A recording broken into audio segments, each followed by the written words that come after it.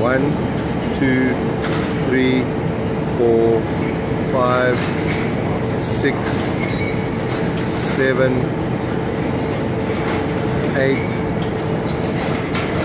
nine, ten,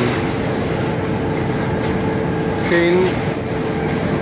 Three bins, half a ton a bin, one and a half times ten, fifteen tons behind a little 24 horsepower Kubota. Unbelievable.